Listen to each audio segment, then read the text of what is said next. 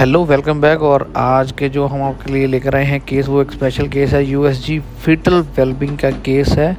इसमें हम आपको दिखाएँगे जो फीटल की फीटस की किडनी है, वो जो मल्टी सिस्टिक डिस्प्लास्टिक किडनी है, उस केस के बारे में डिस्कस करेंगे और आपको दिखाएँगे जो कि ये कैसे एग्ज़ामिन करनी है।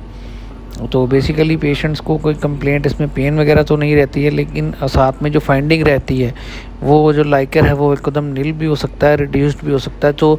सीवियर मॉडरेट लिगोहाइड्रोमोसिस तो इसमें हो सकता है। तो पेशेंट को बेसिकली कंप्लेंट जो रहती है, वो लेस मूवमेंट की हो सकती है लीकेज की रहती है तो उसमें वो लाइकर जो है चेक करवाने के लिए पेशेंट हॉस्पिटल में आते हैं। तो उसमें जो इंसिडेंटल फाइंडिंग रहती है, वो ये कि ये जो आप किडनी देख रहे हैं इसमें बहुत सारे जो जो ब्लैक कलर का एक देख रहे हैं, वो जो है फीटस की किडनी है, वो जो इसका मेन जो डायग्नोस रहता है, वो रहता है कि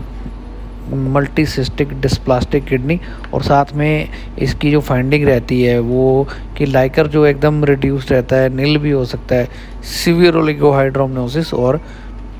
मॉडरेट ओलिगोहाइड्रोमसिस भी इसमें हो सकता है। तो ये जो जो केस जो हम आपके साथ डिस्कस कर रहे हैं आज, ये है मल्टी सिस्टिक डिस्प्लास्टिक किडनी जो आप देख रहे हैं फीटस की।